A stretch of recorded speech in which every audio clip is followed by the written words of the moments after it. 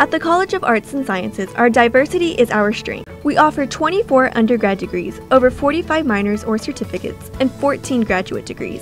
Nearly every Texas A&M Kingsville student comes through our college at some point in their academic journey. Whether it's liberal arts or the humanities like sociology or English or history, our new state-of-the-art School of Music is home to a number of award-winning ensembles, two yearly jazz events, and the pride of South Texas Marching Band.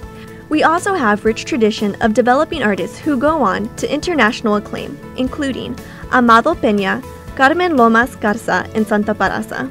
The South Texan newspaper and KTAI radio, two student-run media, are both located in the College of Arts and Sciences. Both serve as laboratories for communication students to gain critical experience. The College of Arts and Sciences is home to the National Natural Toxins Research Center, an internationally known viper research center. Research scientists at the NNTRC look for links between snake venom and therapies to aid in stroke and heart attack recovery. If a medical degree is in your future, the College of Arts and Sciences is home to a intensive biomedical program and also offers pre-professional programs in medical, dental, and pharmacy.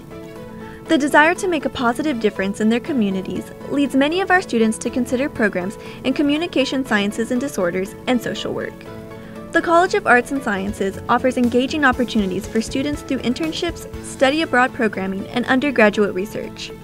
From political science to psychology and criminal justice, the college also offers an array of social science programs. Javelina alumni rate their university experience among the best in the country. Make Texas A&M University Kingsville your choice.